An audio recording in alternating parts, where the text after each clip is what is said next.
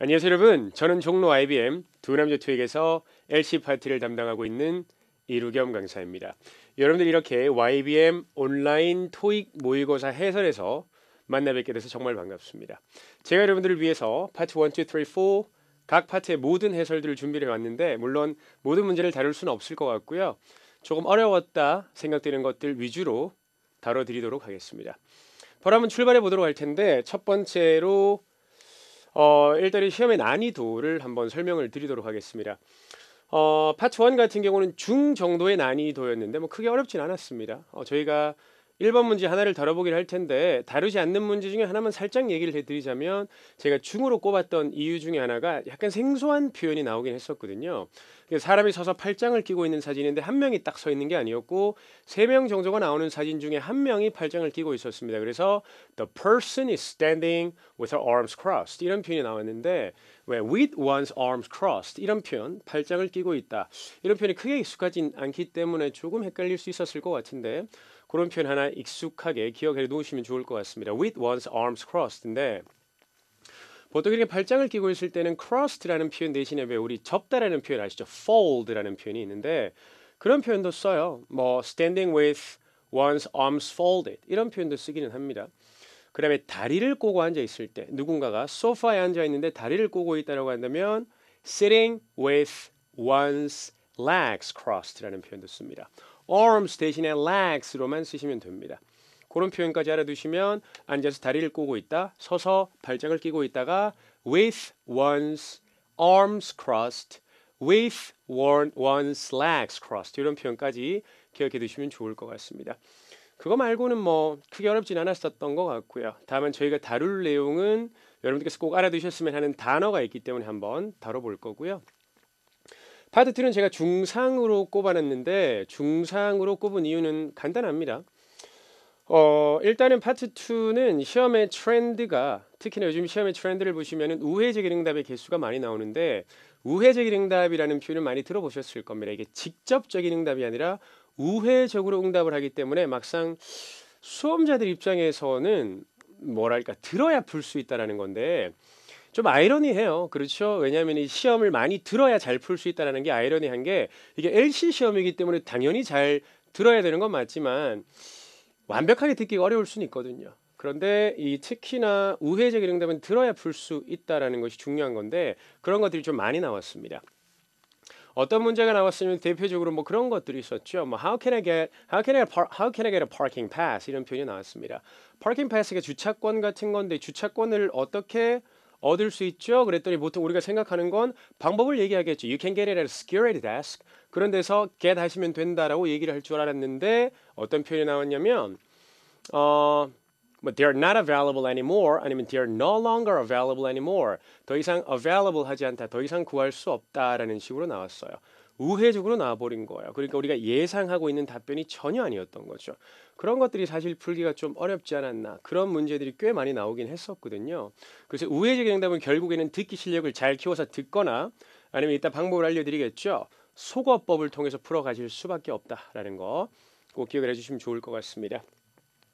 파트 3는 중 그리고 파트 4도 중으로 꼽았는데 파트 3 같은 경우는 전반적으로 조금 평이하긴 했으나 왜 타이밍이 붙어 나오면서 조금은 어려웠던 문제들이 있습니다. 타이밍이 붙어 나오는 문제는 실제로 우리가 문제를 잘 읽어놨다고 하더라도 정말 듣기 실력이 뒷받침되지 않으면 풀 수 없는 유형인데 그런 것들이 한 세 개 정도 출제가 되었습니다. 그리고 그 우리가 가장 고난이도 유형이라고 꼽는 어, 화제 의도 파악 유형이라는 게 있죠. 거기서 나온 표현 중에 보통 질문에 나오는 표현 자체를 우리가 해석하기 어려운 게 잘 나오진 않거든요. 근데 이번에 나왔던 표현은 it's worth a shot이라는 표현이 있었는데 worth라고 하는 표현은 뭐뭐 할 가치가 있는 이라는 표현으로 잘 알고 있지만 shot이라고 하는 표현 shot은 슛이 쏘다 샷이 쐈다 무슨 과거인가 이게 뭔가 조금 헷갈릴 수 있는 거예요. 물론 it's worth a shot이라는 표현은 시도해 볼 만한 가치가 있다라는 뜻이긴 한데 우리는 사실 그거를 모르는 분들이 많을 수 있거든요. 그런 가정을 푼다고 생각을 해 봤을 때는 조금은 어려, 어려웠을 것 같습니다. 내용 자체는 뭐 환급을 받아야 되는 걸 영수증을 제출해야 되는데 조금 늦게 제출했는데 어 이거를 내가 슈퍼바이저한테 얘기를 해야 되나 어떻게 해야 되나라고 했더니 얘기 한번 해보는 게 좋을 것 같아라고 해서 it's worth a shot 이렇게 얘기를 했거든요. 그러니까 시도해볼 만한 가치가 있다라는 표현으로 문맥 파악을 해서 잡았어야 되는 거죠. 그게 조금 까다로웠던 것 같습니다. 그거 말고는 뭐 그 시각자료 연계 문제 같은 경우는 왜 이거는 정말 아주 자명한 건데 왜 그 지도가 나오거나 아니면 평면도 있죠. floor plan 같은 게 나오면 우리가 그걸 풀어가는 가장 기본적인 방식 중에 하나는 세 개의 표현을 알아야 되죠.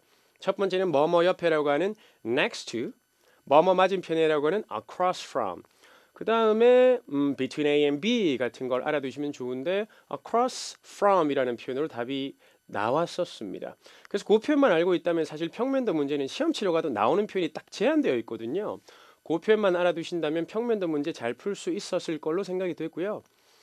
파트 4도 중으로 표시를 해두긴 했는데 중이 되었던 이유는 아까 말씀드렸던 파트 3에 나왔던 타이밍 붙어 나오는 문제들이 몇 개 등장을 했기 때문에 좀 까다로웠던 것 같고요. 그 다음에 음, 그 시각자료 연계 문제라든지 아니면 의도 파악 문제는 크게 어렵진 않았습니다. 다만 시각자료 연계 문제 중에서 어, 이렇게 발표자와 그 사람의 시간이 나와 있는데 발표자의 이름만 듣고 문제를 풀 수는 없었을 것 같고 이 발표자 중에 한 명이 이 질문에 나온 사람으로 대체되는 부분이 있었거든요. 그것만 잘 캐치를 했다면 괜찮았을 것 같다라는 생각이 듭니다. 그래서 전반적으로 총 난이도는 중 정도로 볼 수 있지 않았을까라는 생각이 듭니다. 원래 그 파트 2는 사실 요즘 굉장히 어렵게 나오고 있습니다. 그런데 어, 조금 좋은 뉴스를 전달해 드리자면 그나마 시험이 조금은 어, 파트 2가 굉장히 어려웠는데 조금씩은 내려오고 있습니다. 이게 또 언제 난이도가 높아질지는 모르겠지만 지금은 정말 난, 난공불락 정도는 아니다라는 거 기억하시면서 접근을 하시면 좋을 것 같아요. 자, 그럼 본격적으로 풀이 한번 시작해 보도록 하겠습니다. 그 전에 어, 전략들을 간단하게 한번 정리하도록 할게요. 파트 1 같은 경우는 사실 파트 1에 너무 많은 시간을 할애할 필요도 없는 것이 여섯 문제밖에 안 나오고 뭐 어렵지 않아요. 어렵지 않기 때문에 괜찮은데 몇 개만 유의하시면 좋을 것 같은데 첫 번째로 사람이 등장하는 사진은 사진 사람이 등장하는 사진은 동사에 집중을 해야 됩니다. 사람이 이제 크게 등장하는 사람 중심 사진이라고 하는 것들이 있죠. 그런 것들은 왜 동작에서 답이 많이 나오니까 그래서 동사에 집중하셔서 문제를 푸시면 되는데 동사가 일치한다고 해서 무조건 답이 되지는 않죠. 끝에 나오는 그 명사에도 집중을 할 필요가 있다라는 거 기억을 하셔야 됩니다. 그다음에 이 시험 치러 가시면 여섯 문제 중에 한 문제 혹은 두 문제 정도밖에 등장을 하지 않는 사람이 등장하지 않는 사진을 학생들이 의외로 어려워합니다. 이유는 뭘까요? 제가 대답해 드릴게요. 이유는 뭐냐면 우리가 보통 사람이 등장하는 사진을 보면서 동사에 집중을 하죠. 근데 사람이 등장하지 않는 사진은 동사에 집중하는 게 아니라 명사에 유무에 집중을 해야 되는데 동사에 집중을 하려고 하다 보니까 오히려 틀려버리는 경우가 있다라는 거죠. 그 사람이 등장하지 않는 사진은 명사에 집중을 하셔야 돼요. 여러분들 귀에 들리는 단어가 있다면 그 단어가 사진에 있나 없냐를 잘 보셔야 된다라는 거 기억하시기 바랍니다. 그거면 정말 많은 문제들을 속어해 가면서 풀어갈 수 있습니다. 귀에 들리는 단어가 사진을 봤더니 이걸 없는데 그냥 속어. 있으면 그게 위치가 어떻게 되는지 장소는 어딘지 이런 것들을 파악하시면 좋을 것 같습니다. 어, 그 다음에 being이 들리면 사진에 사람이 있어야 된다라는 거 잘 알고 계시죠? being 들리면 그 being 뒤에 오는 pp 동사에서 파생된 거니까 동사로 표현을 해보면 being 뒤에 오는 동사의 행위를 하는 사람이 있어야 되는 거죠. 맞죠? 예를 들어서 the door is being opened라는 표현이 나왔어요. 그럼 누군가가 문을 열고 있어야 되는 거예요. 맞죠? being pp opened니까 생각해 보세요. 여러분들 being이 들렸는데 사진에 사람이 없다고 생각하면 이거 소름 돋지 않아요? 여러분들 집에서 막 자고 있는데 갑자기 문이 막 달가락 달가락 혼자 막잉 열려요. 소름 돋잖아요. 맞죠? 그래서 여러분들께 being이 들리면 그 뒤에 오는 동사의 행위를 하는 사람이 있어야 된다. 그래서 여러분들께 being이 들리고 사진에 사람이 없으면 그 선택지는 소거하시면 된다라는 거 기억해 주시고요. 이거는 파트 1, 2에서 정말 뭐 불문율이죠. 정답을 찾기 어렵다면 오답을 소거해서 남은 하나를 정답으로 끌고 가자라는 거 꼭 기억을 하시기 바랍니다. 그래서 문제를 풀어갈 때 그냥 듣지 마시고요. 정답인지 오답인지 표시를 하면서 들어가시면 좋을 것 같습니다. 어, 파트 2를 보겠습니다. 파트 2는 뭐 앞에 세 단어를 들어야 된다. 뭐 이렇게 얘기를 하는 경우들도 있지만 적어도 네 단어 정도는 들어야 음, 전문용어로 안전빵이다. 이렇게 볼 수 있을 것 같고요. 한 네 단어, 다섯 단어 정도만 잘 들어도 풀 수 있는 문제가 95% 이상입니다. 95% 이상. 중간부터 들어야 중요한 건 어, 보통 시험 치러 가면 25문제 중에 한 문제 정도밖에 나오지 않는 간접 의문문. 일반 의문문 중간에 의문사가 들어간 간접 의문문 정도가 중간 부분부터가 중요하고요. 나머지는 기본적으로 앞부분에 한 네 단어 다섯 단어만 들으면 충분히 문제를 풀어갈 수 있다라는 것도 기억하시면 될 것 같습니다. 다 듣기 어렵다면 스킬을 적절히 활용해서 오답을 소거한다라고 나와 있는데 음, 스킬이라고 하는 것들 중에 우리가 대표적으로 알고 있는 스킬이 뭐가 있죠? 유사 발음, 동일 발음 소거법 같은 거 있죠. 질문에 나오는 단어랑 선택지에 나오는 단어가 발음이 유사하거나 발음이 동일하면 오답일 확률이 되게 높다라는 거 기억을 하셔야 되겠죠. 맞죠? 유사 발음을 예를 들면은 질문에 Isn't this Jane's car? 이거 제인 차지? 이렇게 물었을 때 I'll push the cart라고 나왔어요. 해석상 당연히 오답인데 질문에 car 선택지에 cart가 있으니까 발음상 유사하니까 소거도 가능할 것 같아요. 맞죠? 그런 걸 유사 발음 소거법이라고 하고 연상되는 것들 있죠. 연상되는 것들. 연상 어휘라고 하는 건데 보통 연상 어휘는 listening 잘안 되시는 분들을 낚기 위해서 많이 내는 거긴 하거든요. listening 안 되시는 분들은 보통 단어 위주로 듣잖아요. 맞죠? 그러니까 예를 들어서 이런 겁니다. 어, listening 안 되시는 분들은 number 11 호로로 호로로 짭짭 post office post office를 들은 거예요.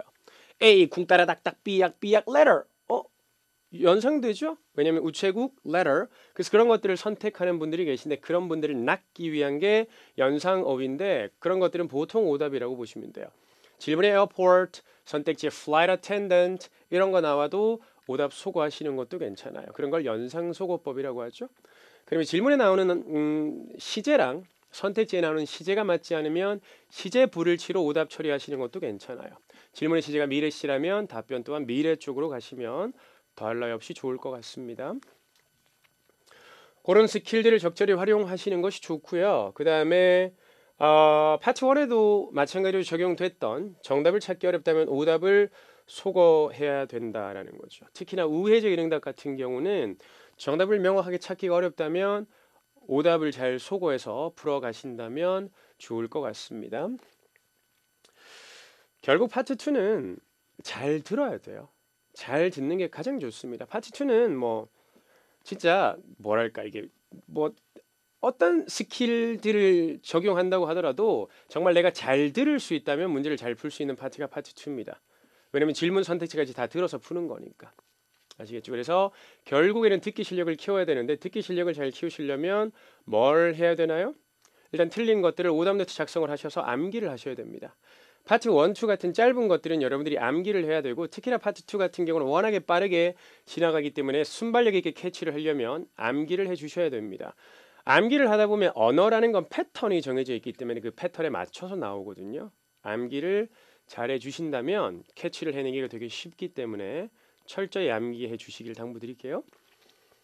어, 파트 3랑 4를 같이 한번 볼 텐데 질문의 유형을 파악해야 된다라는 겁니다. 유형 파악이라고 하는 건 뭐냐면 왜 질문에 예를 들어서 discuss가 나왔다. discuss가 나오면 어 이거는 주제 문제니까 답을 초반을 노려야 되겠네. 그럼 초반부를 노리시면 되는 거예요. 그런 걸 유형 파악을 하자라고 하는 거예요. 질문에 next가 나왔다. next 문제는 후반부에 답이 나오는 대표적인 문제니까 후반부를 노려야겠다. 그럼 후반부에서 답을 잡고 이렇게 하는 걸 유형 파악이라고 하는 거죠. 그 다음에 왜 요청 질문이라고 아시죠? ask to do, request 이런 게 나오는 걸 요청 질문이라고 하는데 그런 요청 질문은 말할 때 많이 쓰는 패턴이 would you, could you, can you, please, don't forget 이런 패턴들이 있죠. 그런 것들을 잘 파악을 하셔야 여러분들이 리스닝을 할 때 잘 캐치해 나갈 수 있는 거예요. 그냥 무턱대고 듣는 게 아니라 파악을 잘해 놓으시고 들으셔야 됩니다.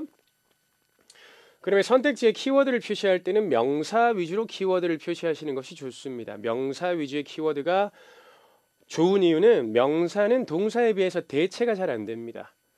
그러니까 동의어가 없이 그냥 그 단어가 그대로 쓰이는 경우가 많기 때문에 소위 말해 사운드를 캐치해서 사운드를 캐치해서 찍어갈 수 있다라는 거예요.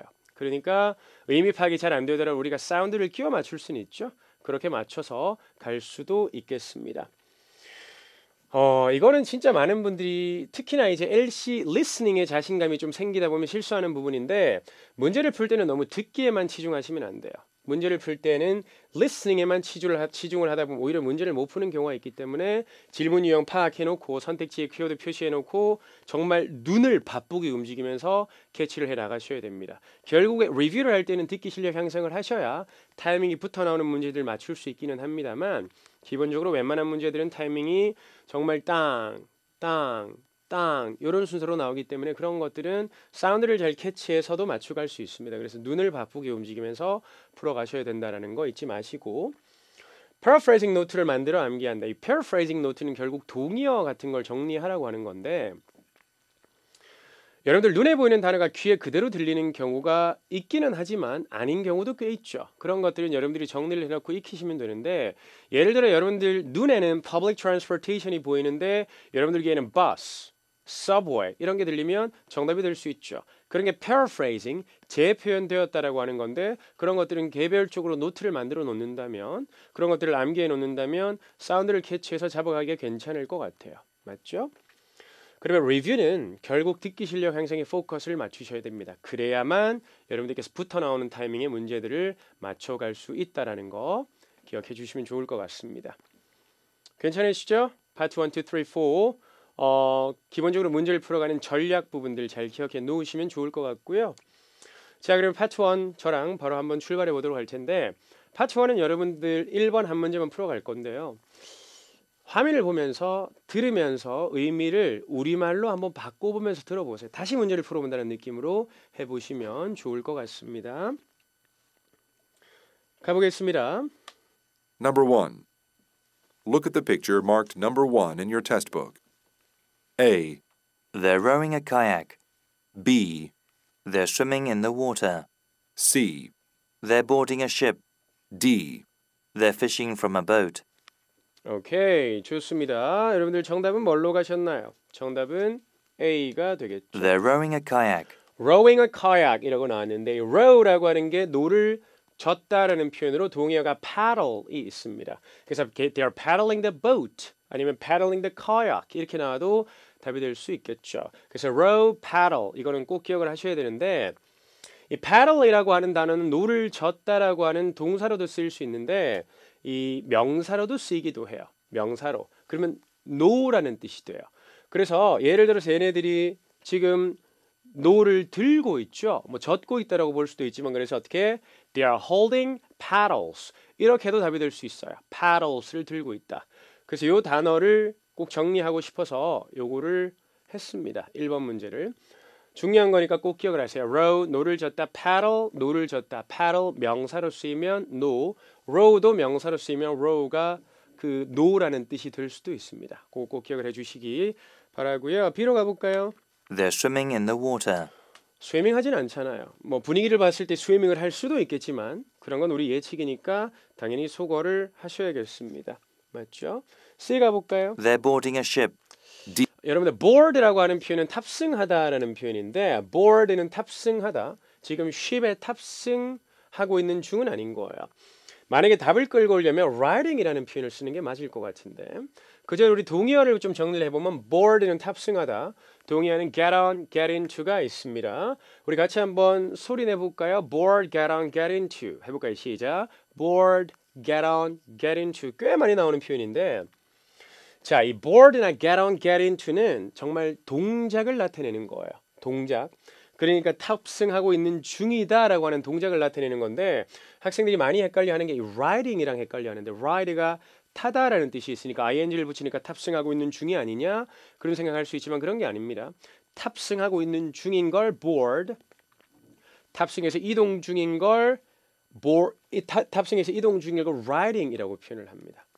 아시겠죠? 그래서 답으로 가려면 they are riding a ship, they are riding a boat, they are riding a kayak 이렇게 하면 충분히 답이 될 수 있을 것 같고요.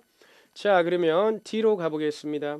They're fishing from a boat. 당연히 fishing 하는 건 아니죠. fishing 하려면 낚싯대가 있어야 되는 거니까 이렇게 마무리하겠습니다. 자, 저희 파트 2로 가보겠습니다. 파트 2는 8번 한번 가보도록 하겠습니다. 파트 2도 마찬가지입니다. 여러분들께서 들어보면서 다시 한번 문제를 풀어본다는 느낌으로 갈 텐데 저희가 첫 번째로 질문을 잘 잡아볼 거고 그리고 답을 선택지를 들으면서 같이 한번 잡아가 볼게요. 화면 보면서 집중해 주시고요. 의미를 우리말로 바꾸면서 한번 들어보세요. Number 8. The packages are ready to be delivered. 자, 한번 끊어볼까요? The packages are ready to 자, packages가 소포라는 뜻이 있죠. 소포들이 The packages are ready to be delivered. ready to be delivered 배달되기 위해 be delivered 되기 위해 준비되어 있습니다. 정답 한번 찾아볼게요. The packages are ready to be delivered. A. In about 15 minutes. B. I'll let the driver know. C. They went to five locations. 오케이. 정답은 정답은 B가 되겠죠? I'll let the driver know. 어, 그래요? 그럼 제가 드라이버한테 알려 드리겠습니다. I'll let the driver know. 그러니까 소포를 이렇게 포장을 해서 이제 배달할 때가 됐으니까 드라이버한테 알려줘야 드라이버가 어 그래요 그럼 출발할게요 이렇게 되는 거겠죠? I'll let the driver know. 어 이것도 사실 좀 까다롭기는 해요. 일단은 질문 자체가 이게 질문이 아니라 평서문이죠. 어떤 정보를 전달하는 평서문이기 때문에 좀 까다롭긴 했는데 A 한번 볼까요? In about 15 minutes. In about 15 minutes입니다. 여러분들 in about 15 minutes라고 하는 건 when으로 물어야 되지 않을까요? 맞죠? When are we going to ship the packages? 이렇게 나오면 In about 15 minutes. in about 15 minutes입니다. in이라고 하는 표현은 뭐뭐 후에라는 뜻이 되겠죠. 이게 많은 분들이 in이라고 하면은 뭐뭐 이내로 이렇게 알고 있는 표현인데 in이라고 하는 표현은 뭐뭐 후에라는 표현입니다. 그래서 이게 뭐뭐 후에라는 표현이라는 걸 기억하셔서 이번 기회에 뭐뭐 후에라는 표현인 걸 꼭 기억하셔서 나중에 후회가 없을 수 있도록 하세요. 라임 괜찮았죠? 제가 제가 라임 욕심이 좀 많아가지고 하루 1라임을 신청하고 있습니다. 그래서 이게 라임이 좀 어느 정도 자신감이 붙는다면은 그 왜 그 Show Me the 돈 프로그램이 이쪽 있죠? 뭐 그 프로그램에 제가 한번 도전을 해볼까 생각 중에 있습니다. 시즌 한 16 정도에 도전을 해야 될 것 같아요. 어쨌든 어, in about 15 minutes는 어쨌든 when으로 질문을 해야 되는 거겠고요. C 한번 들어볼게요. They went to five locations. 어, 그들은 five locations로 갔다. 이것도 여러분들 해석상 답이 안 되는데 이 five라고 하는 숫자가 나와 있습니다. 숫자 표현이 답이 될 때는 질문이 보통 how라고 보시면 되고 how many로 물어야 될 것 같아요. How many locations 혹은, 혹은 how many branches have they visited? 그들이 몇 개의 branch들을 방문했나요? 이렇게 나와요. They went to five locations. 이렇게 될 수 있는데 여러분들 location이라는 표현 한번 정리해 볼 텐데 location은 우리가 위치라는 표현으로 많이 알고 있는 표현이지만 토익에서 문제를 자유자재로 풀어가시려면 location은 위치, 지점, 현장이라는 표현까지 기억하셔야 됩니다. 왜 branch의 느낌 있죠? 그것도 기억하셔야 되고요. construction site 대신에 location 이렇게도 쓰니까 공사 현장 이런 표현도 기억을 해 주셔야 되는 거 잊지 마시기 바랍니다. 자, 11번으로 출발해 보겠습니다. 또한 마찬가지로 바꿔 주세요. 의미를 우리말로. Number 11. Did you ask for regular shipping or overnight shipping? 어, did you ask for 요청하셨나요? 뭘로? Did you ask for regular shipping or overnight shipping? 그러니까 regular shipping이라고 하는 게 일반 배송 아니면 overnight shipping은 왜 밤새 이렇게 날아가는 거니까 뭐예요? 당일 배송 같은 거라고 보시면 되는데 와, 이 이 overnight shipping이라고 하는 것, 당일 배송이라고 하는 표현, next day delivery, next day delivery, 다음 날 배달되는 것도 마찬가지인데 야, 저는 진짜 이 당일 배송 시스템을 듣고 깜짝 놀랐어요. 한국의 당일 배송 시스템을 한다라는 걸 제가 유학 생활할 때 들었는데 그때 생각했죠. 와, 진짜 한국 대단하다. 어떻게 어떻게 그날 주문한 걸 그날 받을 수 있을까라고 생각을 했어요. 근데 나중에 한국 와서 보니까 당일 배송이 아니라 당일 배송을 해서 그 다음 날 받는 거더라고요. 그러니까 당일날 배송을 시작한다는 거죠. 그래서 저는 사실은 말을 바꿔야 되지 않나요? 당일 배송 시작으로 바꿔야 되지 않아요? 당일 배송 시스템이 아니라 당일 배송 시작 시스템으로 바꿔야 되는 거라고 생각을 하는데 어쨌든 유학 생활할 때 저는 진짜 깜짝 놀랐었던 기억이 있습니다. 당일 배송을 볼 때마다 아직도 그때 생각이 떠오르긴 하는데 anyway 그래서 그래서 지금 어, regular shipping을 요구하셨나요? 아니면 overnight shipping을 요구했나? or이라고 나왔죠. 일단은 여러분들 듣자마자 or이 들리면 선택 의문문이다라고 보시면 됩니다. 정답 한번 잡아볼게요. A. They are sending me the bill. B. I think it will arrive on time. C. We need it tomorrow, don't we? 오케이. 정답은 어떻게 갈까요? 정답은 C가 되겠죠. We need it tomorrow, don't we? 그러니까 우리, 내일 필요하죠. 그렇죠? 이렇게 묻고 있죠. We need it tomorrow, don't we? 그러니까 내일이 필요 내일 필요한 거면 당연히 overnight shipping으로 가야 되는데 이 또한 우회적인 응답인 거죠. overnight shipping으로 가야죠. 이런 게 아니죠. 우리 내일 필요한 거죠. 그러면 overnight shipping을 선택하는 느낌인 겁니다. 맞죠? 그다음에 이것도 하나 극단적인 팁으로, 팁으로 기억하시면 좋은데 파트 2는 선택지에 되묻기가 있다면 답의 확률이 되게 높다라는 거죠. 되묻는 선택지. 맞죠? 우리 내일 필요한 거죠. 그렇죠? 이런 게 답이 많이 됩니다. 그래서 여러분들 문제를 풀어가다가 어 이거 잘 모르겠는데 하지만 선택지에 되묻는 게 있다면 답으로 선택하시면 확률이 높다라는 거 기억하시고 They are sending me the bill. 그들이 bill을 보내줍니다. 이건 소거하셔야 되겠죠? They are sending me the bill. 이게 how much 이런 게 나와야 될 것 같은데 how much do you, do you have to pay for it? 너 얼마를 내야 되니? 이렇게 나왔더니 They are sending me the bill. 그들이 bill을 청구서를 보내줄 거야. 그러니까 안다 모른다 모른다 이렇게 답변이 돼야 되는 거니까 질문이 how much로 묻든지 해야 될 것 같고 B는 I think it will arrive on time. on time 제때 도착할 것 같아라고 합니다. I think it will arrive on time. 어 질문이 how long이면 맞을 것 같아요. How long will it take to be arrived? 도착하는데 얼마나 오래 걸릴까? I think it will arrive on time. 음, 아마 우리가 요청한 시간에 맞춰 도착할 거야. 이렇게 잡아갈 수 있겠죠.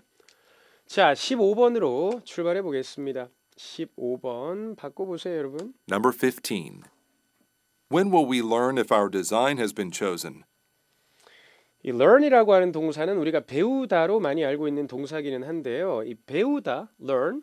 근데 보통 해석을 할 때 어떻게 해석하는 게 좋냐면 정말 토익에서 많은 상황에 알다, know라는 표현으로 알면 좋긴 하거든요. When will we learn if our design has been chosen? 그래서 when we will learn 우리가 언제 알게 될까요? When will we learn if our design has been chosen? be chosen은 선택되는 거죠. 그러니까 우리의 디자인이 언제 선택되는지 알 수 있을까요? When will we learn if our design has been chosen? A. Sometime next month. B. It looks really good. C.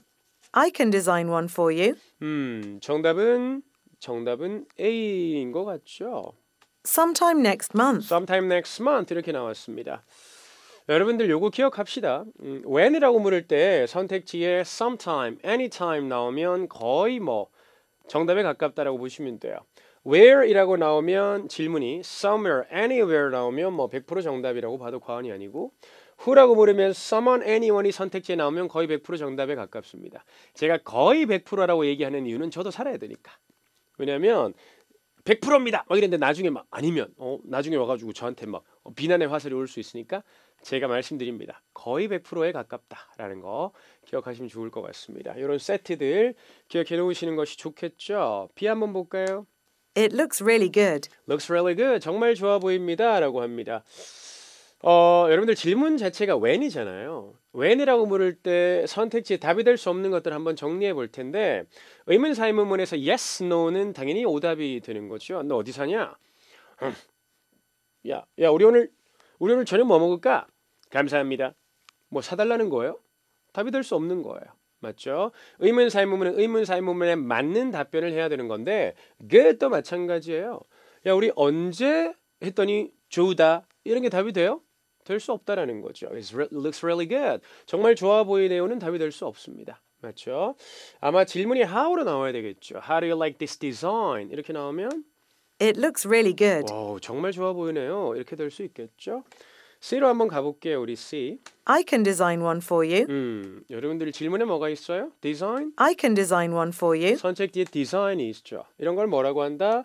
동일 발음 소거법도 괜찮고요. I can design one for you. When will we learn? we라고 했는데 I라는 주어로 받기도 좀 그렇죠. 맞죠? I가 나오면 I don't know 이런 걸로 나와야 되는 거예요. 아니라면 주어가 맞지 않다라고밖에 볼 수 없는 거죠. I can design one for you. design, design 동일 발음 속어 주어 불일치 이렇게 잡아놓읍시다. 19번으로 가보도록 하겠습니다. 바꿔주세요, 여러분. Number 19. I'd like to have a salad with my entree. I like to have 갖고 싶다. 여기서 뒤에 entree, entree가 뭐지? entree? I'd like to have a salad with my entree. salad라고 하는 건 어쨌든 음식이니까 여기서 I like to have는 먹고 싶다 뭐 이런 뉘앙스로 해석을 하시면 좋을 것 같은데요. 이 entree라고 하는 거 한번 볼까요? 이 entree라고 하는 게 주요리 혹은 주요리 앞에 나오는 요리라고 나왔는데 주요리면 주요리고 주요리 앞에 나오는 요리면 앞에 나오는 요리지 이게 다른 거 아니냐? 맞죠? 그런 생각이 들 수 있는데 이게 사실은 국가별로 조금 달라요. 원래 이 entree라고 하는 게 프랑스어죠. 프랑스어. 프랑스에서 온 거예요. entree라고 하는 게. 프랑스 본토에서는 이 entree가 주요리 앞에 나오는 요리예요. 약간 appetizer 느낌으로 쓰이는 게 entree인데 이게 미국과 캐나다에서는 entree라고 하면은 주요리예요. 메인 요리를 뜻해요. 그리고 이게 영국, 호주 이런 영미권 그 다음에 프랑스 본토 쪽에 entree라고 하면은 정말 이 appetizer의 느낌으로 쓰이는 거예요.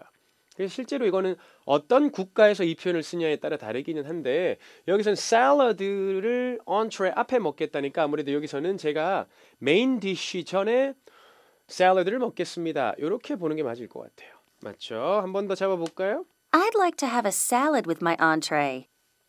A, The portions are just the right size. B, What kind of dressing would you like? C, No thanks, I already ordered. 음, 정답은요? 정답은 뭘로 드실래요? 정답은 B죠. What kind of dressing would you like? 샐러드랑 드레싱 연상되니까 오답 아니냐? 이럴 수 있기는 한데 스킬이 100% 통하는 건 절대 아니에요. 맞죠? 샐러드 드레싱은 연상되기는 하지만 어쨌든 우리가 또 다른 스킬에 집어넣어 보면 뭐예요? 되묻는 게 정답. 특히나 여러분들 평서문이 되묻는 확률이 되게 높습니다. 왜 그런지 아세요? 평서문은 되물으면 되게 자연스럽거든요. 맞죠? 보세요. 나 밥 먹었다. 뭐 먹었어? 자연스럽죠. 나 학교 간다. 야, 너 학생이었냐? 뭐 이런 거 자연스럽죠. 되묻는 선택지가 꽤 자연스럽습니다. 그래서 평소문은 특히나 되묻는 선택지가 답으로 많이 나온다라는 거 기억하시면 좋을 것 같고요. A 한번 가볼까요? The portions are just the right 이 size. portion이라고 하는 건 보통 1인분 을 뜻하기도 하고요. 아니면 음식 등의 양을 뜻할 때도 portion을 쓰거든요. The portions are just the right size. Just the right size. 와, 양이 딱 적절합니다. 이렇게 나오는 거니까 아무래도 질문 자체가 어, 이렇게 나와야 되겠죠. Do you want some more? 좀 더 필요하니? Do you want some more? 이렇게 나오면 음, The portions are just the right size. 양이 딱 정확합니다. 이 정도면 딱 좋을 것 같아요. 이렇게 잡는 게 맞을 것 같아요. 맞죠? 그러면 C 한번 가볼까요? No thanks, I already ordered. 음, 아니 괜찮습니다. 저는 이미 주문했습니다. 이것도 질문 자체가 이렇게 나와야 되겠죠. Can I help you order? No thanks, I already ordered. Can I help you order? 주문 좀 도와드릴까요? No thanks, I already ordered. 아니요, 아니요. 이미 주문했습니다. 이렇게 잡아가셔야 되겠죠.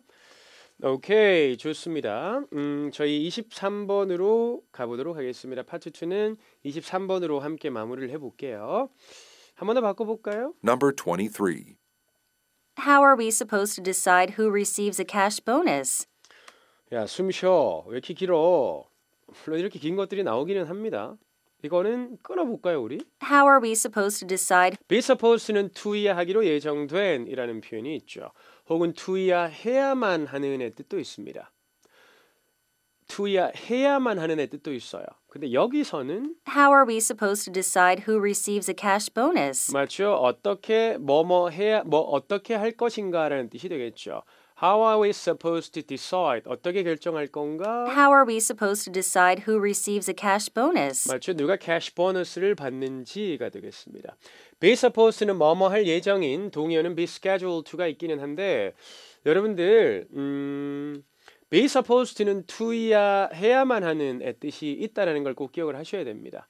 그것도 나오기는 하거든요. 파트 2에 어떻게 나왔던 적이 있었냐면 이렇게 나왔던 적이 있었어요.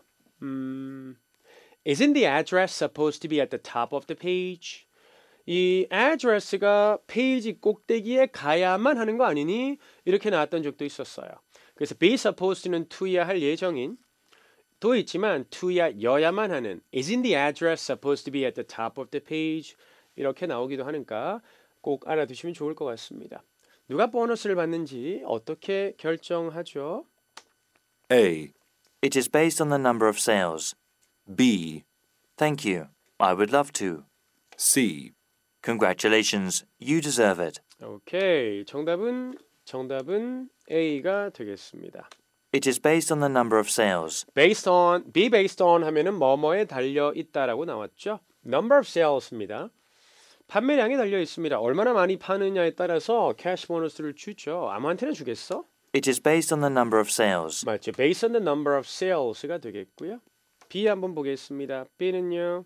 Thank you. I would love to. 음, thank you, I would love to. how로 묻고 있잖아요. 의문사 의 문문이니까 thanks 안 되잖아요. yes, no, thanks, good, great 이런 것들 답안 되는 건 알고 계시죠? Thank you. I would love to. I would love to. Are you gonna come to my party tonight? 혹은 Would you like to come to my party tonight? Thank you.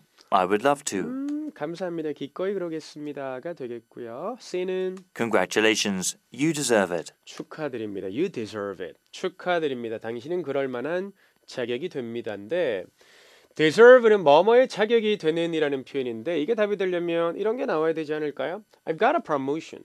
나 승진했잖아. Congratulations. You deserve it. 오, 축하드려요. 정말 그럴 만한 자격이 됩니다라는 뜻이 되겠죠. 괜찮으시죠? 파트 2 이렇게 마무리하고 파트 3로 가보도록 하겠습니다.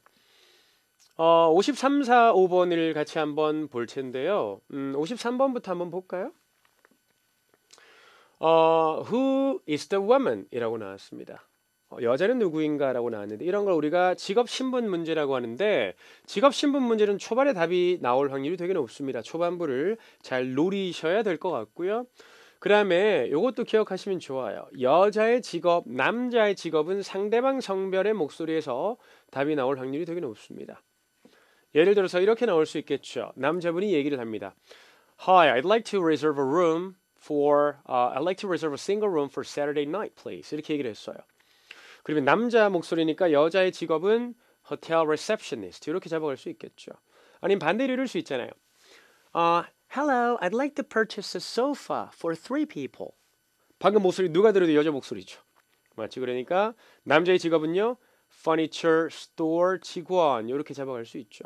상대방 목소리에서 직업이 나올 확률이 되게 높습니다. 어, 선택지를 보시면은 명사 형태로 구성이 되어 있는데 명사 형태는 사운드가 들릴 확률이 되게 높습니다만 파트 3는 어떤 단어들을 통해서 직업을 잡아가실 필요도 있습니다. A 같은 경우는 주차 요원, being a roommate, maintenance person이라고 하는 게 관리 부서 직원이 되겠고요. 보수하거나 뭐 이런 사람들이죠. real estate agent는 부동산 중개업 자를 뜻합니다. 보통 집 관련해서 많이 나오는 거죠. 정말 이, 이거는 진짜 좀 극단적인 팁이긴 한데 선택지에 있으면 진짜 답이 많이 됩니다. real estate agent. 집 구하는 게 정말 정말 집을 많이 구하거든요. 정말 답이 많이 됩니다. 54번입니다. 남자가 enjoy doing이죠. 그럼 남자가 즐기는 거니까 누구 목소리를 노려야 되나요? 남자 목소리를 노려야 되겠죠. 아우 저는 이런 걸 하는 걸 너무 즐거워합니다. 이런 걸 너무 즐겁게 하고 있습니다. 이런 거. 차량 수리하는 거, being going for walks입니다. 이거는 산책 가는 거죠. C는 meeting with friends, 친구 만나는 거, D는 preparing food, 음식 준비. 요생남인가요? 음, 뭐 굉장히 유행하는 단어기는 하죠. 음식 만드는 거, 요리하는 거 좋아하고 이런 것들. 55번입니다. 음, 남자가 이렇게 말할 때 뭘 의미하나요? 의도 파악 문제 가장 고난이도 유형이긴 한데 Let's do it. 그렇게 합시다라고 얘기를 하고 있습니다.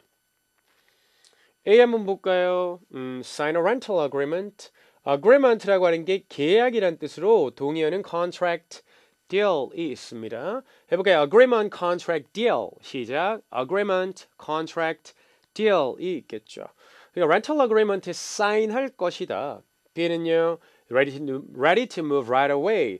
즉시 이사갈 준비가 되었다.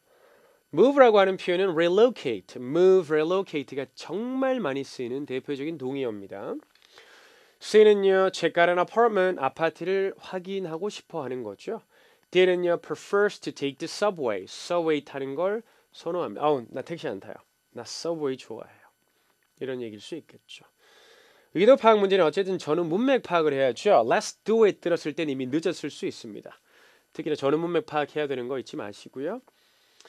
여러분들 그러면 화면 보면서 저랑 정답을 한번 맞춰가 보도록 할 텐데 어떻게 할 거냐면 여러분들 왜 뭐 빈종이 같은 거 있으면은 펜을 이렇게 들어가지고 종이에 정답의 포인트 이렇게 한번 긁어 보세요 살짝 살짝 정답의 포인트에 네, 문제 풀듯이 그렇게 하시면 저는 화면에 정답 포인트에 플래시를 한번 띄워드려 볼게요.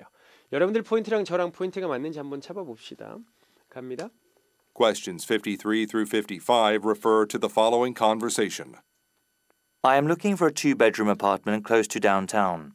I would like to have a large kitchen since I love cooking. I have a few listings that fit your requirements.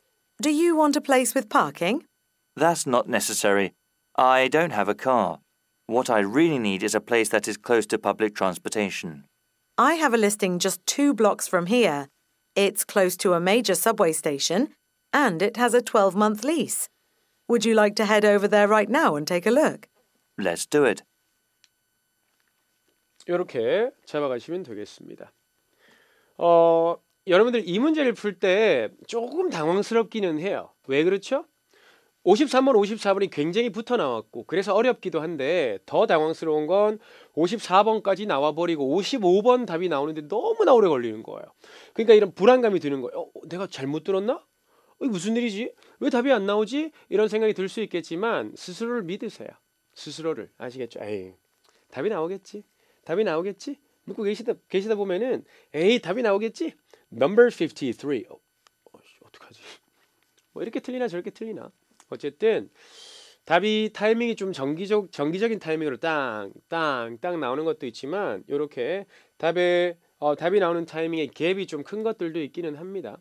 그럴 때일수록 여러분들을 믿고 조금 기다려 보시는 것도 괜찮아요. 특히나 이거는 뭐 let's do it 듣고 잡으면 되는 거니까. 어, 53번 같은 경우는 여러분들 왜 집을 구한다 에서 바로 잡으시면 돼요. 맞죠? 집을 구합니다에서 바로 real estate agent를 잡으시면 되는 거고 54번은 since I love cooking 쿠킹을 좋아하는 건 결국 preparing food는 음식을 준비하는 건 설마 여러분들 왜 어디서 음식 사와가지고 이렇게 짠 이렇게 준비하는 걸 얘기하는 건 아니에요. 파트 1에서도 마찬가지거든요. A woman is preparing some food 이렇게 나오면 파트 1에서 요리하는 모습이에요. 요리하는 거죠. 55번 같은 경우는 가서 한번 볼래? 그랬더니 let's do it. 그럽시다 하니까 가서 확인해 봅시다. 이렇게 잡아갔으면 되겠죠. 그 포인트들을 노렸으면 잘 풀 수 있었을 것 같아요. 바로 한번 스크립트 확인해 볼게요. I am looking for a two bedroom apartment close to downtown. 여기가 정답의 포인트인 것 같네요. I am looking for a two bedroom apartment close to downtown. 맞죠. 다운타운 근처에 있는 two bedroom apartment를 찾고 있대요. I would like to have a large kitchen since I love cooking. 맞죠. 쿠킹을 좋아하니까 large kitchen을 갖고 싶습니다. 쿠킹을 좋아하는 건 preparing food를 좋아하는 것이죠. 맞죠? I have a few listings that fit your requirements. Do you want a place with parking? 이 listing이라고 하는 표현이 보통 부동산이 가지고 있는 집 소유하고 있는 집 있죠. 물론 얘네들이 진짜 소유하고 있는 건 아니고요. 렌트를 하거나 매매를 하기 위해 가지고 있는 그런 집의 리스트를 얘기하는 거고요. fit이라고 하는 표현이 맞추다입니다. 당신의 요구를 충족시킬 수 있는 이 되겠죠. 주차 필요하니? That's not necessary. I don't have a car. 차가 없어요. What I really need is a place that is close to public transportation. 맞죠? 역세권이라고 하는 거죠. 역세권이 필요합니다. I have a listing just two blocks from here. It's close to a major subway station and it has a 12 month lease. 음, 12 months lease입니다. 12개월 렌트가 가능하다라는 거죠. Would you like to head over there right now and take a look? Let's do it. 맞죠? head over 어디 어디로 향해 가는 거죠. 글로 가서 한번 보실래요? 그랬더니 let's do it. Would you like to head over there right now and take a look? Let's do it. 이렇게 나왔죠. 뭐 이런 느낌도 있네요. 글로 가서 한번 보실래요? 뭐, 뭐 유행하는 힙합적인 표현은 뭐 그런 것도 있죠. Let's get it. 뭐 이렇게 얘기할 수도 있을 것 같네요. Let's do it. Let's get it. 뭐 이렇게 나오는 느낌. 가서 한번 해봅시다. 이런 느낌으로 잡아가시면 될 것 같아요. 그래서 이 말을 하는 이유는 여자가 가서 볼래? 그랬더니 음, 가서 봅시다. 그래서 결과적으로, 결과적으로는 wants to check out an apartment. 아파트를 확인하고 싶다가 되겠죠. 자, 어, 그러면 저희 59, 60, 61번으로 같이 한번 보겠습니다. 어, conversation about 문제입니다. about 문제는 주제 문제거든요. 주제 문제는 답이 어디 나오나요? 초반에 나옵니다. 주제 문제는 답이 초반에 나오니까 초반부를 잘 노려 보시면 되고요. 어, A 같은 경우는 우리가 키워드는 보통 명사 위주로 잡으면 좋기는 한데 A 같은 경우는 여러분들 interview라는 단어를 명사로 잡아 놓으시면 돼요. 여기서는 이제 이제 동사로 쓰이긴 했으나 인터뷰라고 하는 단어가 대체 불가능 단어라고 보시면 돼요. 여러분들께 들린다는 거죠. 들리면 선택하시면 거의 정답일 수 있는 거죠. 뒤에 나와 있는 make changes라고 하는 표현이 수정하는 거예요. 변화를 주는 거니까 동의어가 update, revise가 있는데 여기도 웹사이트라고 하는 단어가 대체 불가능 단어예요. 웹사이트가 여러분들 눈에 보이죠? 여러분들에게 웹사이트 들리죠? 정답 선택하시면 정말 어김없이 정답일 겁니다. 그러면 C는요, relations with clients입니다. 그러면 여기서는 키워드가 client 이런 걸 잡아놓으시면 좋을 것 같아요. D는 employee directory라고 하는 게 employee directory가 직원 안내 같은 거거든요. 직원 안내를 계획한다. 이게 무슨 말이냐면 왜 직원에 관해 설명하는 거 있죠. 직원 프로필 같은 걸 계획하는 거라고 보시면 돼요. 아시겠죠? 어떻게 직원 프로필을 만들 것인지를 계획하는 겁니다. 60번 보겠습니다. imply about 문제인데 imply about 문제는 보통 뭐 시중에 있는 문제집에는 추론 문제, 암시 문제 이렇게 많이 나오는데 이 문제를 어렵게 생각할 필요 없고요. 이 mention about, say about과 같은 언급 문제로 보시면 돼요. 언급 문제. 그러면 좀 특이하게 나오지만 언급 문제인 것들은 뭐가 있냐면 imply about, suggest about, indicate about이 뭐뭐에 관하여 언급하다 이런 문제. 이런 문제의 특징은 about 이하가 여러분들 귀에 들릴 확률이 되게 높죠. about the company죠. company 노래 보시면 될 것 같은데. A는 직원들이 많다. B는요 new email program. 여러분들 B가 답이라면은 여러분들 귀에 이메일 들립니다. 이메일도 대체 불가능 단어. 귀에 들리면 정답 잡아가시면 돼요. C는 improve communication. 커뮤니케이션을 개선할 필요가 있다. Did recently relocated. relocate 아까도 했었습니다. relocate, move 정확하게 같은 뜻입니다. 어, 61번입니다. 남자는 왜 so is that it? 이게 다야? 라고 말하나 라고 나왔죠. 남자가 야 이게 다냐? 이렇게 말을 하는데 A는 정말 만족했대요. be satisfied with the conversation. 대화에 너무 만족했다. B는 uh, suggestions are inappropriate. appropriate이 적절한인데 inappropriate은 부적절한의 뜻이 되겠죠. 아 이런 거예요. 왜 그 회식을 하러 갔는데 어 일단은 그 부장님이 그 법인 카드를 들고 있긴 한데 법인 카드 한도액이 뭐 한 5만 원밖에 안 되는 거예요. 그러면 이제 여러 명이 갔으니까 짜장면 같은 걸 시켜 먹어야 되는데 자 우리 오늘 뭐 먹을까? 그랬더니 한 명이 저기요 저희 저희 팔보채 먹읍시다. 뭐 나조기 먹읍시다. 뭐 이런 거 있죠. 좀 비싼 거. 그러면은 어, your suggestion your suggestion is inappropriate. 이렇게 얘기하는 거예요. 제안이 적절치 못하다라는 거죠. 그럼 5만 원밖에 없으니까. C 같은 경우는 어, like additional clarification. 단어가 좀 어렵죠? clarification이라고 하는 건 어, 확인으로 해석하시면 되긴 하거든요. 왜 clarify라고 하는 게 조금 더 명확하게 하는 거예요. 그러니까 추가 확인이 필요하다. 이렇게 잡아 놓으시면 돼요. 조금 더 명확하게 알아야 되는 거죠. 때는 invite additional comments. 뭐야 그 추가 코멘트를 초대해? invite는 초대하다는 뜻도 있지만은 어, he wants to invite additional comments 그러니까 어, 사람들이 추가 코멘트를 give 하기를 원하는 거예요. 맞죠? 그러니까 여기서는 그가 invite 하는 건 원하는 거죠. get 하기를 원한다. 사람들이 그에게 give 해주길 원한다라고 보시면 돼요. 자, 이것도 저랑 타이밍 한번 맞춰보겠습니다. 펜 살짝 들어서 정답의 포인트를 한번 긁어 보시면서 가볼게요. 화면은 보면서 갑니다. Questions 59 through 61 refer to the following conversation with three speakers. I am going to meet with the communications team tomorrow. They want to know what ideas we have for updating the company's website. Well, they changed the address and contact information when we moved to our new office. But we still don't have a photograph of the building. That's a great idea. It has been a month already. Speaking of photographs, I think we should add them to our staff profiles. In addition to the biographical information. Exactly. It helps clients connect names and faces. Okay, so is that it? I think so. If I have any other ideas, I'll email them to you. Me too. 이렇게 잡아가시면 됩니다. 어, 3인 대화의 느낌이긴 하네요. 3인 대화인데 음, 3인 대화에 대한 고민이 있으신 분들은 고민을 할 필요가 1도 없다라는 말씀드리겠습니다. 왜 그런지 아세요?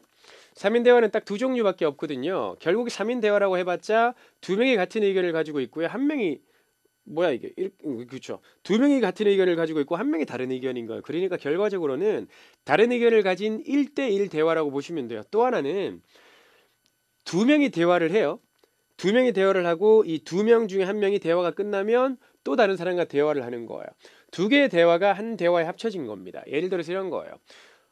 우편 소포를 보내러 가가지고 I'd like to send an international package, please. 이렇게 얘기를 했더니 I'm sorry, sir, we're not dealing with international stuff here. Could you move over to that line, please? 그럼 이쪽 라인으로 가서 이쪽 라인에서 어, May I help you the next, person in line, please? 이렇게 얘기하는 거예요. 다음 사람 도와드릴까요? 그러면 Yes, I'd like to send an international package. 이렇게 얘기하는 거죠. 그럼 어, 여기서 도와드릴게요. 그럼 대화가 두 개가 하나의 대화 합쳐진 거예요. 이런 게 3인 대화거든요. 그러니까 3인 대화를 전혀 어려워할 필요가 없어요. 정말 3인 대화를 어려워할 필요가 없는 게 뭔지 아세요? 3인 대화가 나와도 이게 3인 대화인지도 몰라요. 그게 가장 중요한 거예요. 그냥 푸시면 돼요. 아시겠죠? 어려워할 필요가 전혀 없다라는 거죠. 59번 아까 말씀드렸죠. 여러분들에게 웹사이트가 들릴 거다. 웹사이트가 들렸고 업데이트라는 동의어가 들리면서 답이 튀어나왔죠. 60번 같은 경우는 제가 조금 타이밍을 늦게 끌고 가긴 했는데 여러분들 조금 일찍 가셨어도 상관은 없어요. 맞죠? move라는 단어가 나왔거든요. move가 나왔는데 뒤에 저는 it's been a month already 이미 한 달 됐어 에서 잡기는 했거든요. 그런데 앞에서 잡으셨어도 전혀 상관은 없을 것 같아요. 남자가 얘기하는 건 is that it? 야 이거면 되냐? 그랬더니 여자분이 뭐 더 필요한 거 있거나 생각나는 거 있으면 그때 추가하자. 알려줄게. 여기서 남자가 이 말을 하는 이유는 야 요 정도면 되는 거야? 이거면 충분하니? 더 많은 걸 추가해야 되지 않니? 약간 이런 뉘앙스로 얘기를 한 것 같아요. 맞죠? 바로 한번 확인해 볼게요, 우리. I am going to meet with the communications team tomorrow. They want to know what ideas we have for updating the company's website. 여러분들 귀에 웹사이트가 들렸죠? 그 다음에 뭐가 나왔어요? 앞에 update가 나왔죠. update make changes. 웹사이트 웹사이트 사운드를 잡아도 충분히 풀어갈 수 있겠죠. They want to know what ideas we have for updating the company's website. Well, they changed the address and contact information when we moved to our new office. 그러니까 여기서 잡으셔도 괜찮을 것 같긴 한데 뭐라고 나왔어요? Well, they changed the address and contact information when we moved to our new office. 그러니까 우리 새로운 오피스로 이사 왔을 때 그럼 아직도 새로운 오피스라고 표현하는 걸 봤을 때 이사 온 지가 얼마 안 된 것 같아요. 이때 잡으셨어도 되는데 만약에 아직 여기서 잡기가 조금 애매했다면 한 문장 더 들어볼까요? But we still don't have a photograph of the building. That's a great idea. It has been a month already. 여기 어떠세요? It has been a month already. 한 달이나 되었는데 그럼 한 달밖에 이사한 지 안 됐으면은 이사한 지 한 달밖에 안 됐으면 최근에 이사했다라는 걸 잡을 수 있겠죠. 이때 잡으셨어도 될 것 같아요. Speaking of photographs, Speaking of something은 뭐뭐 얘기가 나왔으니 말인데 이런 뜻입니다. 사진 얘기가 나왔으니 말인데 I think we should add them to our staff profiles. 어, 스태프 프로필에 추가하는 게 좋을 것 같아. In addition to the biographical information. In addition to는 to 이하에 더해서라는 뜻이죠. Biographical information은 우리가 신상이라고 하는 거 있죠. 신상에 더해서 사진을 추가하는 게 좋을 것 같다고 이런 얘기인 거죠. 그러니까 원래는 뭐 이름하고 이 사람의 신상만 좀 나와 있었는데 이름에 위에 뭐 사진을 추가한다든지 그런 얘기인 것 같습니다. Exactly. It helps clients connect names and faces. 맞죠? 그러니까 왜 이름하고 얼굴하고 연결하기가 좋잖아요. 맞죠? 이름만 덩그러니 나와 있으면 누가 누군지 알기 어렵지만 사진하고 이름하고 같이 기억하긴 좋으니까요. Okay, so is that it? I think so. If I have any other ideas, I'll email them to you. Me too. 이렇게 잡아가시면 되죠. Is that it? 야 이거면 다 되냐? Okay, so is that it? 맞죠? 그런데 여기 보시면 발음이 is that it? is that it? 이렇게 나왔는데 영국 발음이라서 그런데 여는 법칙 하나만 살짝 설명드리면 여기 보시면 t로 끝났죠. t가 자음이죠. is의 i가 모음이죠. 그러니까 is that it? 그러면 연음이 되는 거예요. 그런데 미국 발음 같은 경우는 t가 리을로 부드럽게 발음이 나요. 그러니까 발음이 어떻게 돼요? is that it? is that it? 이 되는데 t 발음이 영국 발음일 땐 t긋으로 나요. 그래서 발음이 is that it? is that it? 이렇게 나는 거죠. I think so. If I have any other ideas, I'll email them to you.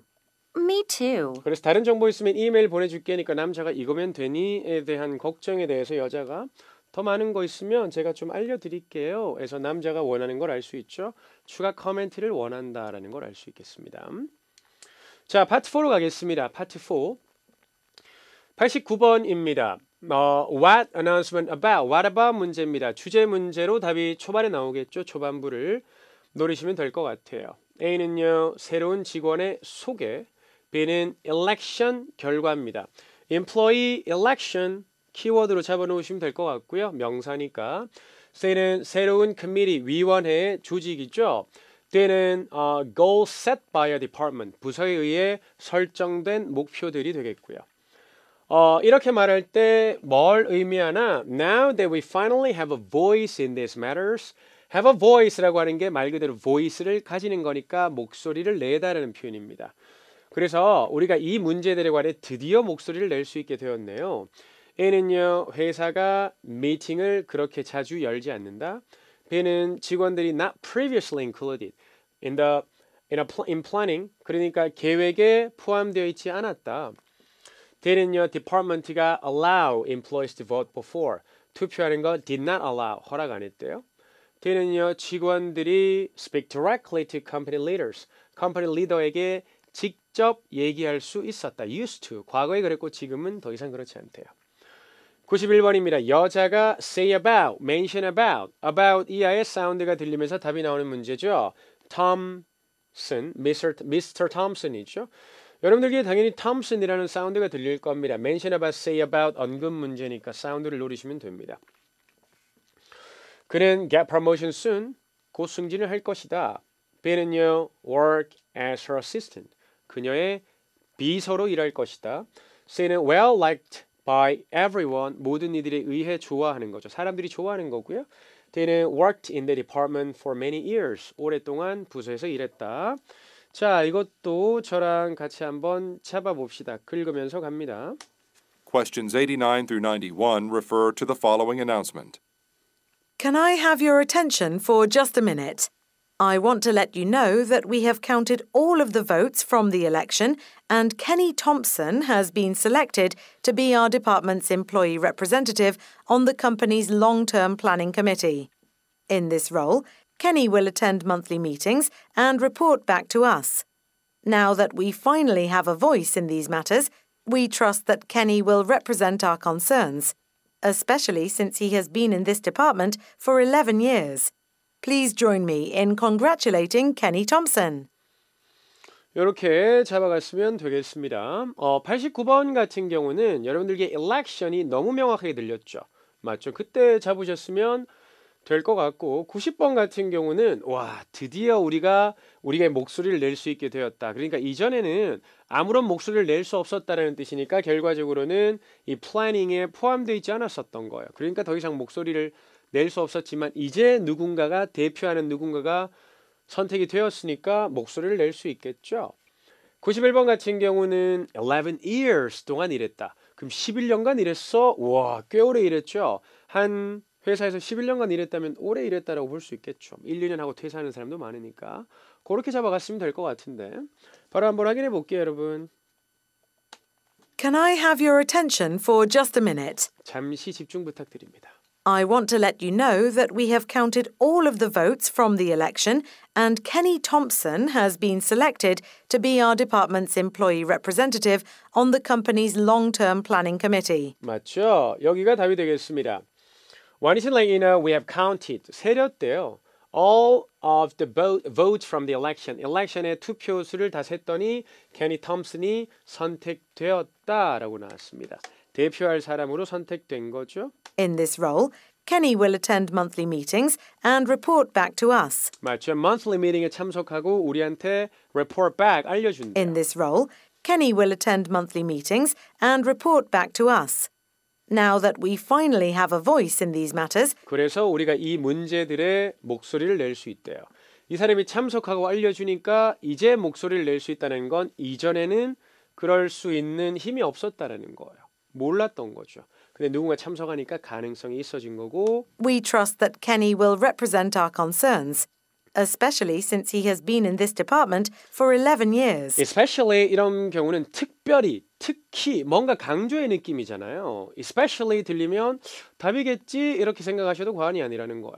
많이 나오는 건 아니니까 막 꼭 기억해라 이런 느낌은 아니지만 느낌적으로 특히 뭐 이렇게 나오면은 중요할 수밖에 없는 거죠. also plus 뭐 이런 것들도 마찬가지 맥락입니다. especially since he has been in this department for 11 years. Please join me in congratulating Kenny Thompson. 이렇게 잡아가시면 되겠습니다. 맞죠? 그래서 결과적으로는 이 부서에 11년간 일했으니까 오래 일했다가 되겠습니다. 자, 어, 마지막 세트 한번 보시고 정리하겠습니다. 98, 99, 100번 그래픽 유형 같이 한번 볼게요. 음, 이 announcement의 목적은 무엇인가요? 라고 나왔습니다. 이 목적을 묻는 문제는 결국 주제 문제로 보거든요. 주제 문제는 초반에 나옵니다. 초반부를 잘 노려보시면 됩니다. A는 limited time offer, 어떤 제한된 오퍼를 소개하는 거고요. B는 promote a new online store, 새로운 온라인 store를 홍보하는 거죠. C는요, customer service policy를 설명하는 거. D는요, upcoming sale, 다가오는 세일을 발표하는 건데 여러분들 D가 답이 되려면 뭘 노리면 되냐면 next라는 단어 노리면 돼요. next, next week, next month 이런 게 들리면서 답이 되게 많이 됩니다. 99번입니다. 어, 그래픽을 보시오. 저런 건 사실 여러분들 해석할 때는 해석을 안 해도 되죠. 시간 낭비니까요. 어떤 아이템이 eligible for, be eligible for, for 이하의 자격이 되는 30% employee discount입니다. 30% employee discount. 그러면 여러분들 질문에서 노릴 건 30라고 하는 숫자예요. 우리가 노릴 수 있는 4대 타겟 시장넘 이름이라고 제가 축약해 놓은 표현인데 시간, 장소, number 이름이 질문에 있으면 그걸 노리시면 되는데 여기에선 30%의 30가 number 타겟에 들어가죠. 그럼 저걸 동그라미 쳐놓으면 전후에 분명히 답이 나옵니다. 그걸 노리시면 되는데 지금 여기 나와 있는 건 item number이기 때문에 여러분들은 description 혹은 가격을 노리시면 될 것 같아요. 맞죠? description 혹은 가격을 노리시면 될 것 같아요. 여러분들 귀에 가격이 들리거나 아니면 description 설명을 들리겠죠. trousers 바지냐, screwdriver 세트냐, 스니커냐, glasses냐 이렇게 나와 있죠. 100번입니다. 어떻게 직원들은 enter their name in the price drawing, price drawing이라고 하는데 drawing이라고 하는 게 뽑기 추첨이에요. 시상 뽑기 추첨 같은데 어떻게 직원들이 enter 할 수 있나? can 문제를 우리가 방법 문제라고 해요. 방법 문제는 후반부에 답이 나온다. 그러면 방법 문제는 정말 정형화되어 있는 토익의 틀이 있는데 정보를 어떻게 얻을 수 있냐 그러면 어김없이 웹사이트가 정답이에요. 왜? 정보를 얻고 구매 안 할 수 있잖아요. 그러니까 아우 귀찮으니까 웹사이트에서 봐 이렇게 나오는 거고요. 예약이나 구매 같은 경우는 바로 돈이 되는 거죠. 어 예약이나 구매하시려면 전화 주세요. 뭐 이런 겁니다. 그러면 연락 방법은 어, 연락 뭐 너무 자주 오면 귀찮으니까 이메일 주시면 제가 확인하고 연락 드릴게요. 이메일로 보통 답이 나온다. 이게 토익 상식인데 이런 거 기억해 놓으면 진짜 때로는 여러분들 듣지도 않고 풀 수 있습니다. 이거는 어떻게 enter their name in price drawing 추첨해서 그들의 이름을 넣을 수 있나? 어, product review 제품 리뷰를 씀으로써 여러분들 review라고 하는 표현 사운드를 노리시면 답이 많이 됩니다. 어, B는 매니저와 얘기함으로써 C는 receipt를 제출함으로써 D는 커스터머에게 추천을 함으로써가 되겠습니다. 자, 저랑 마무리 한번 출발해 볼게요. 끌고 보시기 바랍니다. Questions 98 through 100 refer to the following announcement and receipt. I have a quick announcement for everyone. As you know, employees can get a 15% discount on everything in the store. However, this week only, you can get 30% off any hand tools. It's our way of showing our appreciation to you for your hard work. All other products are eligible for the normal discount.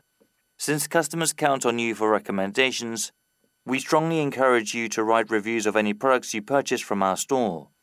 For each review, your name will be entered in a draw for a $100 gift certificate. Draws are held once a month and include entries from all of our retail locations and our online store. 이렇게 잡아가시면 되겠죠.